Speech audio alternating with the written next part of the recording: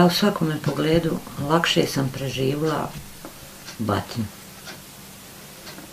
nego psihički. Na ja batnu prebolim. Nasilje nad ženama je šamar, nasilje nad ženama je uvreda, nasilje nad ženama je porodično nasilje, ali nasilje nad ženama generiše nešto drugo. Svaki put kada vas neko nazove ženskom glavom, želeći da vas uvrijedi, ili svaki put kada vam e, poslodavac vas pita da li planirate da imate porodicu, e, svaki put kada žena dođe u situaciju da ode iz kuće i sa sobom ima samo zavižljaj i djecu, a imovinu nema na svom imenu, to isto nasilna žena. Ne da je to bilo ono, ono iz početka, neko učestalo nasilje. Desilo se u mjesecu jednom, zlostavljate psihički, ono, pa onda kaže neću, neće to biti. Pa nakon mjesec dana fizičko, pa pijanje, pa proći će, pa. Ali poslije liječenja prvoga, znači, oduzima se, liječio se i oduzima se alkohol, onda kreće više. I drugo liječenje i kreće još više. Gledam žene koje doživljavaju ružne stvari. E, meni lično da se da se nasilje desilo jeste. Svakom se od nas desi nasilje, htjeli mi to priznati ili ne. Da li verbalno ili znači i verbalno nasilje i možda još i gore od tog fizičkog. Naravno, fizičko nasilje je ono krajnje primitivno što se desi. To se ne tiče tebe lično, a nekad i, i mi to radimo. Treba priznati, E, da okrenemo glavu, ne okrenemo bukvalno glavu, nego aha, dobro, dobro nisam men desilo. Desilo sa nekom drugom. Zaista trebamo malo u svemu, pa i u tom ružnom što se dešava svaki dan, malo da budemo humaniji. Centar za socijalni rad, ma, ne znam koliko sam se puta obratila. Inače, centri za socijalni rad su neizostavni subjekti u sistemu podrške žrtvama porodičnog nasilja i naše aktivnosti definiše i zakon o zaštiti od nasilja u porodici. A radi lakše operacionalizacije, evo tako da kažemo, mi smo neke svoje aktivnosti podijelili u tri velike skupine. Naše aktivnosti odnose se na podršku žrtvama porodičnog nasilja, odnose se na rad sa počinjocima nasilja i na preventivne programe, dakle aktivnosti usmjerene na suzbijanje i spričavanje nasilja u porodici. Policiji isto tako dođe sve se to sanirati, privedu ga jedan dan, drugi dan je vraćen kući, drugi dan je gori. Trpljeno je znači do momenta dok, dok nije došlo oružje. Obaveza policije kada neko prijavi porodično nasilje da zaprimi to, tu prijavu ta se prijava evidentira i odmah da kažem da ta prijava znači ne mora doći od žrtve nasilja, ona može doći od e, rodbine, od nekog iz susjedstva, telefonom, može biti anonimno, dakle, i svaku tu prijavu se policija shvata ozbiljno, e, zaprima i dalje postupa po toj prijavi. Šta znači dalje postupa? Odmah, dakle, bez odlaganja, patrola policije izlazi na lice mjesta, policijskih službenika i na licu mjesta se e, konstatuje činjenično stanje iz istog momenta sam uspjela djecu iščupati iz kuće. I prisile ga i kažu gdje i šta imaš uz pušku, nemam ništa. Šta će ti to? Pa to da imam, kad iziđem, čuva to celo lovo, hiljade načina bilo da se on pravda. Koliko imaš metaka? Četiri. Četiri metka znači naš četiri. U Republici Srpskoj postoji nasilje u porodici i porodičnoj zajednici, dakle postoje radnje koje su kvalifikovane kao prekšajne radnje i postoje radnje koje su kvalifikovane kao krivično djelo. Članom 208 krivičnog zakona Republike Srpske definisano krivično djelo i e, e, to su najkraće rečeno one radnje koje prouzrokuju veću društvenu posljedicu, veću društvenu i imaju e, veću društvenu opasnost nego što su to prekšene radnje. Dakle, one radnje koje su, imaju manju društvenu posljedicu, koje su uslovno rečeno bezopasnije, manje su štetne po žrtvu, one su kao takve kvalifikovane e, kao prekšaj. Tad kad sam sve to kad je prošlo, znači te gogote rata i tih mojih problema na rat, u toku rata i sa djecom borba, dobivam radničku knjižicu od firme, nema ništa. I od, tog, od te knjižice i od tog svega kreću dalje problemi. Najteži moment je što je bio krenuo na djecu. ja umeđu vremen dobivam moždani udar. Pomislila sam, aj, to je sve prolazno. I to će proći, to se neće desiti. Nakon nekoliko vremena to kao, eto, izvini, to je bilo nehoci, to je bilo priča. Drugih, znate, kad, kad se čupa, onda se čupa na drugog, na... Rekao mi ovaj i ovo, rekao mi na ono, nije to to. Nije to rekao niko. Zapravo svako ko, ko se na taj način e, razračunava s nekim problemom koji on vjerojatno projektuje u toj ženi, zapravo koji misli da je žena taj problem, on sigurno da ima neki prije svega problem sam sa sobom koji ne može da riješi. Uh, jer, mislim u većini slučajeva zato što su tako ljudi kukavice koje ne smiju da se suoče sami sa sobom, pa je onda najlakše okriviti nekog drugog i jel, projektovati u njemu neke te loše osobine i naći ovaj, nešto možda i ne postoji u tom čovjeku, samo da skinuli ovaj, sa sebe taj teret, odbacili to i e, onda se s tim drugim obračunavali. Ali kažem, to je opet jedna ono, kad se podvuče crta, jedna odvratna osobina, to je kukavičluk, e, bez imalo dostojanstva, bez imalo poštovanja i samog sebe prije svega, onda bi svega ostalo i svih ljudi koji te okružuju i bilo čega, odnosa, veza.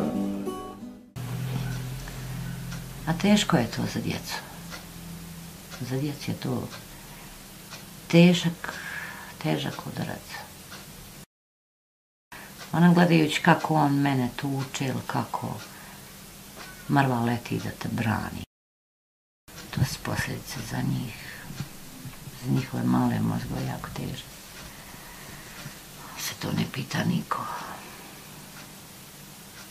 Ja sam par puta htjela da, da pričam sa ljudima koji jednostavno da sjedemo da pričamo šta kako. I onda moraš ti sam kao roditelj da kažeš, e, prošlo je to, prevazišli smo to, neće to više biti i to. Evo, par puta se malo slučaj da kažem moja djeca, e, kad smo bili to riješili, što se to ponovo uradilo? Znači, opet sam ja neki korak vratila se unazad, a to je nije bolilo. Znači, patili smo se tako i sad si ti vratila se.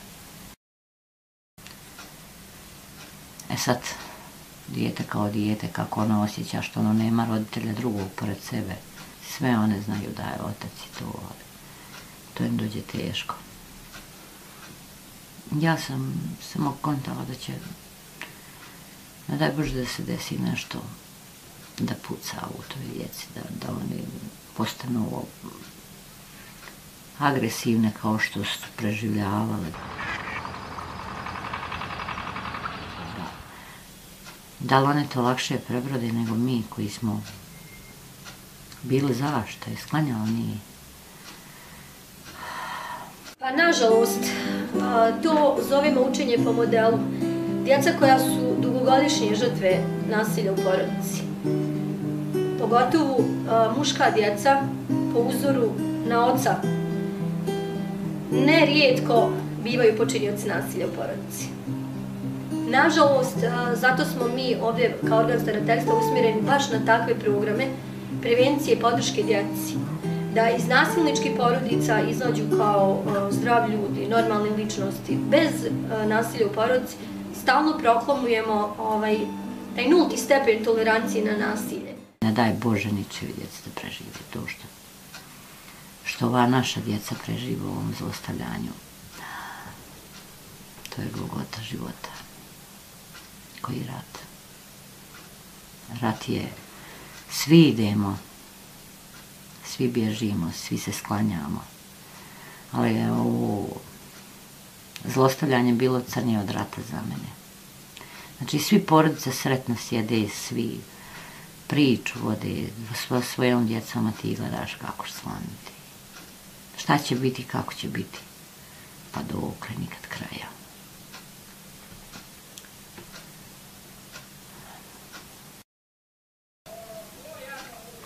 Osjetila sam to, ali normalna je neka, neka glupa sredina. Grad, nije grad, selo, selendra jedna. Sramota je da vidi komšija, da čuje komšija. Sramota pored, sramota ovo, sramota. Koja sramota? Koja sramota? Nema sramote čovječe. Ali žena je ta koja kaže i ovo će proći, ovo će proći. Pretrpiš jedan put, dođe drugi put. Neće više. Hoće biti jedan, pa hiljadu i jedan i tri hiljade i jedan dok ne dođeš. Znači dok ne klekneš, nema. Dakle, e, šteta što mladi najčešće ponavljaju nekakve obrazce ponašanja iz svog okruženja, svoje porodice, od svojih roditelja, ali mislim da se pravilnom edukacijom, podizanjem svijesti može kod mladih e, upravo tražiti neko njihovo partnerstvo u smislu njihovih ideja i prijedloga i mislim da su oni zaista najzahvalnija ciljna grupa kod koje se vrlo brzo može podići nivo svijesti o prevenciji borbi protiv nasilja nad ženama i generalno borbi protiv rodne diskriminacije. Dakle, u, u svakom, u korinu svih oblika nasilja nad ženama i djevojčicama je definitivno uspostavljanje dominacije, moći i kontrole. E, ja bih onako apelovala već na mlade da se ono može dešavati u vezama i da djevojčice i djevojke već tada mogu prepoznati neke oblike nasilja. Ako će on već tada vas izolovati od vaših prijatelja, od vaše porodice, ako će on kontrolisati mobilni telefon, ako vi nećete moći izraziti svoje mišljenje ili zbog toga ćete možda dobiti šamar, to su već prve nekakve, nekakvi prvi znakovi gdje možete prepoznati gdje trebate bježati od takvog momka i u mladosti glavom bez obzira. Pitao sam što nisam. Kut. Prvo je bilo pitanje kut. To sam ja samo i se postala pitanje kut. Znači nisam mogla donijeti odluku. Idem, ali ne znam kud idem. Dovala sam sama sebe u tu poziciju, znači nesposobna sam da radim, da doprinosim da to nije, bilo bi prije. Ali tu sam odluku donijela u, u pogrešno vrijeme.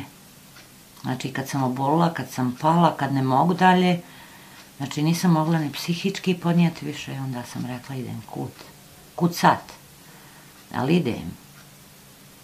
Idem da spasim djecu, a sa mnom kako bude.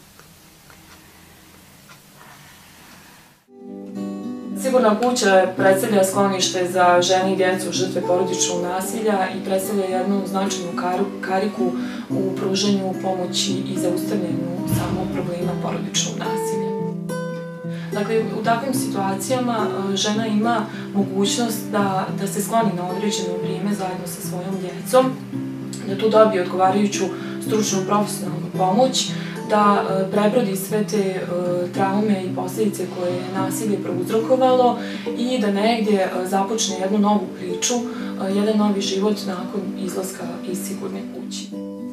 Većina sigurnih kuća se nalazi u nadležnosti nevladinih organizacija. Možemo reći da, je, da smo mi našu sigurnu kuću u Banja Luci otvorili 2007. godine i da smo od početka negdje bili podržani od E, strane vlade Republike Srpske i e, naše lokalne zajednice, dakle grada Banja Luka, e, kroz određenu finansijsku pomoć i podršku. Došla sam u sigurnu kuću sa njima, bila sam. Imali smo sve i tugu i žalost i raspoloženje i psihologa i priču i svašta nešto, ali žene koje su ostale e, sposobne, koliko toliko, nijedna ona nije sposobna. Da ona kaže, ja sam u ovom sad društvu i ja mogu tako, ko je zlostavljano, on teško se snalazi u ovom svemu. Postoje ovaj, uh, pogrešno neko uvjerenje da sigurna kuća predstavlja samo uh, E, to fizičko obezbeđenje zaštite e, ženama i djeci žrtvama porodičnog nasilja. Dakle, ona pored toga što obezbeđuje siguran ovaj, krov nad glavom u momentima dakle, kad su bile izložene nekoj posebnoj e, epizodi nasilja, u najčešćem broju fizičkog nasilja, ona omogućava da žena tu postepeno sanira posljedice koje to nasilje proizvelo živjeti u jednoj e, nasilnoj e, zajednici, u jednoj nasilnom okruženju e, dovodi do niza posljedica koje u velikom broju slučajeva uključuju snižavanje nivoa samopoštovanja i samopouzdanja, povećanje osjećanja krivice, stvaranje jednog osjećaja neadekvatnosti, Eh, dovodi do, eh, u velikom broju slučajeva do stvaranja jednog eh, posttraumatskog stresnog poremećaja i drugi simptoma koji mogu da, da izazovu određene promjene u funkcionisanju same ličnosti. Boravkom u sigurnoj kući, dakle, žena postepeno vraća to svoje samopouzdanje, samopouzdanje nauči da ponovo voli sebe, i, i svijet u kojem živi i negdje prepoznaje svoju uh, ulogu u društvu. To je daje dovoljno uh, snage uh, da, da počinje razmišljati, da uh, stekne jednu novu sliku uh, i viziju svoje budućnosti, budućnosti svoje djeci.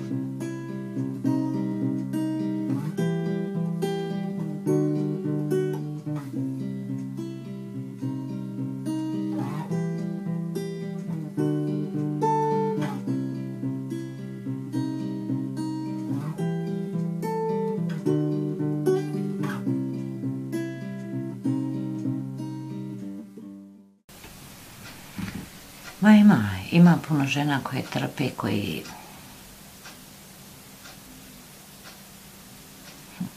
trpe i kažu, je, promijenio se, povratio se u onu normalu. Biće to dobro, ko što sam ja razmišljala. Nema to.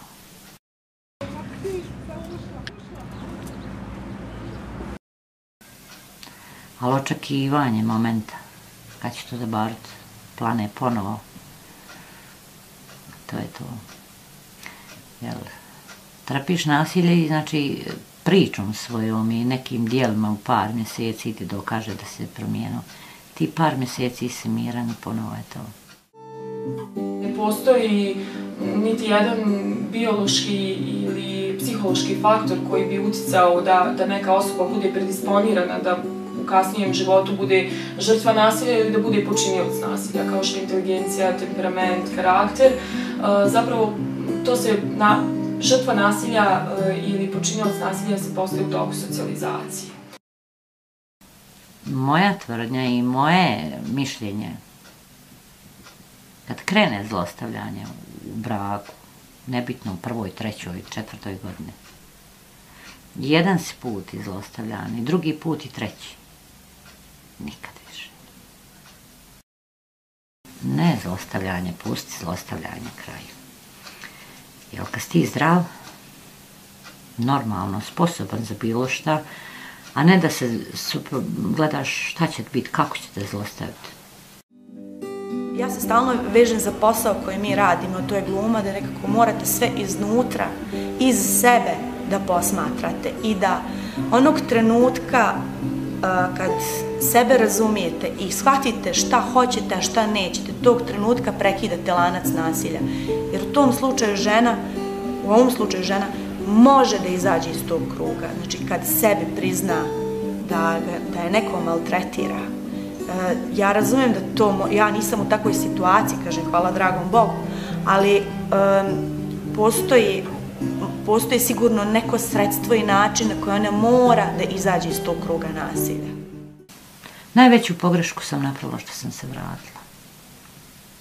Sad mogu cijeli dan sjediti, tablete piti i čekati. Šta čekam? S neba, nema s neba. U takvom sam stanju i šta? Nemoj trpiti, nemoj reći je proće, to neće to proći već se snalazi, izlazi, skloni se, ne dozvoli da se ponovi ta tuča i premlaćivanje i podljevi i psihijatrijsko liječenje. Ne, bolan. stvorio te Bog da se boriš za normalan život. Za mene je jedan od najtežih oblika kršenja nekih osnovnih prava žena i, i, i sloboda žena. Meni muškarac koji je u stanju napraviti jedan oblik takvog nasilja ne može se uvijek karakterisati kao pravo muškarca.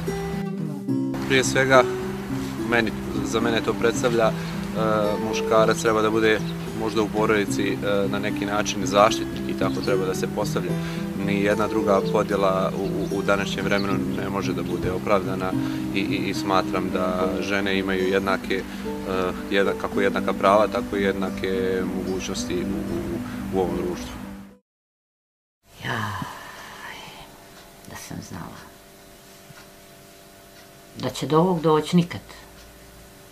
Samu sebe, znači, samu sebe jedem. Bože, što sam dan danas se priča, evo kako ovo. Da sam ja zdrava, nek se ono priča. Sad je u tim nekim selma, o, napusti brak, rastor, znaš ti šta je to?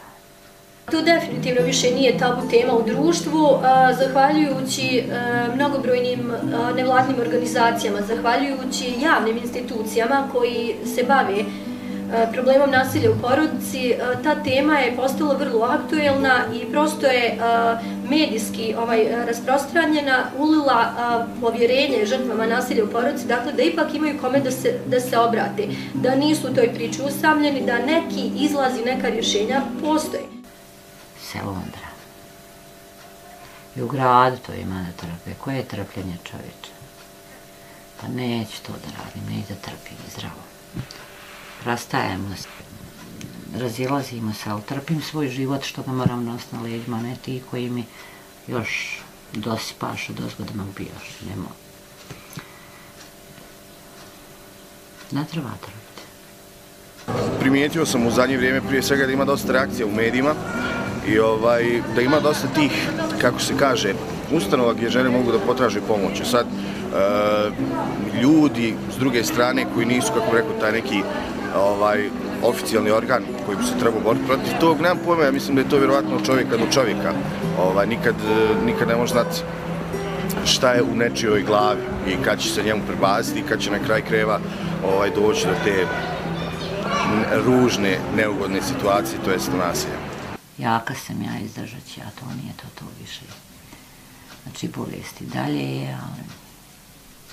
Ja i sada kažem, nastavim da bude bolje, ali da kažem više ono sa srca i ovoj bit će bolje, nema. Teško. Da se blagovremeno procesuira nasilje u porodici, vjerovatno bi i recidivi u nasilju bili manji. Mene također raduje iz naše zvančne evidencije i statistike, ovaj, raduje me činjenica da je broj recidiva smanjen.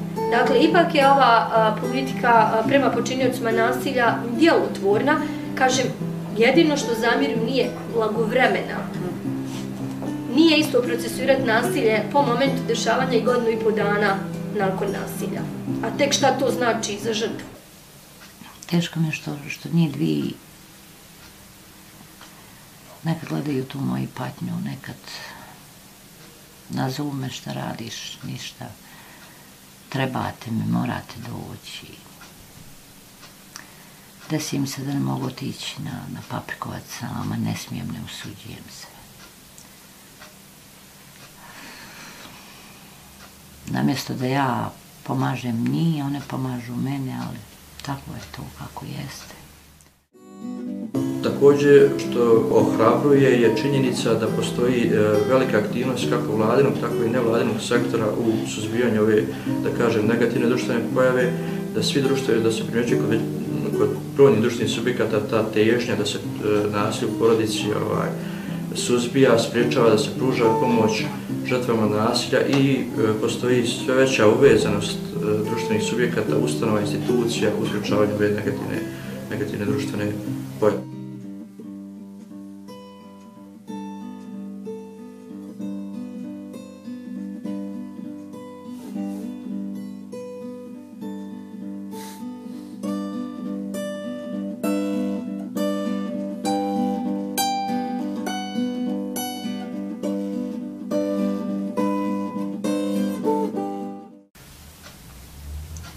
Će biti dalje